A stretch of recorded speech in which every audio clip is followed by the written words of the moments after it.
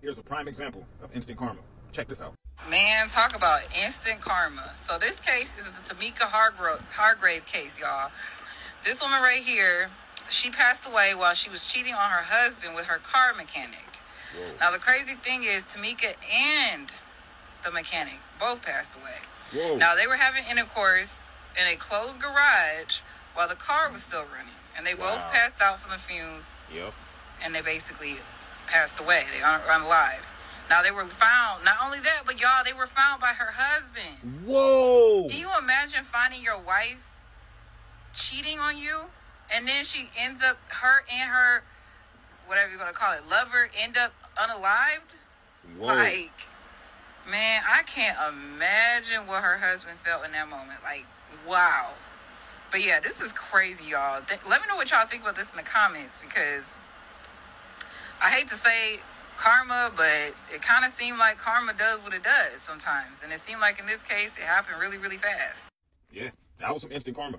That's crazy, bro. Imagine walking into that, bro.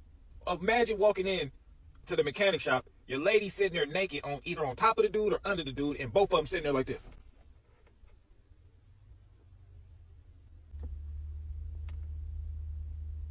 Just sitting like, whoa, bro, naked. Like, god damn. I mean, like, when you initially see it, I, I'm, I'm pretty sure he got riled up and was like, what the, you know what I'm saying? And didn't even know that they were actually deceased. You know what I'm saying? And then when he got, got closer and realized what was going on, I know he probably like broke down and started crying. And then after that, he, he had to have some logic hit him like, that's what she get. No matter how much he loved her, that is what she fucking gets, bro. And now, I don't wish death on nobody, but this, this is crazy. And I, I look at my judgment means nothing. My judgment means nothing on the situation. The universe didn't already made the, didn't already bang the gavel. You know what I'm saying? They didn't already made their decision. Like this was that bad. That's why she got what she got. But people be really out here scandalous and trifling, bro. Like you cheating with the mechanic? Aren't you cheating on your husband with the mechanic, bro? Oh my god. And then the mechanic, like, you're still dealing with the husband shaking his hand and doing all of that shit. Like you dudes, that's that's crazy. That's diabolical. That's That's evil, homie. That's evil. But hey, the universe said this is what you deserve. So I guess they got what they deserve.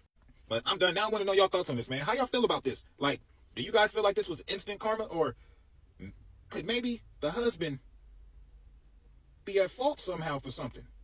He, you never know. He could have. It could have been some finagle finagling going on right there. He probably could have just pulled up, seen what was going on, was like, oh shit, and then did the shit, and you know, you never know, man. But let me know what y'all think and how y'all feel. Drop it in the comments.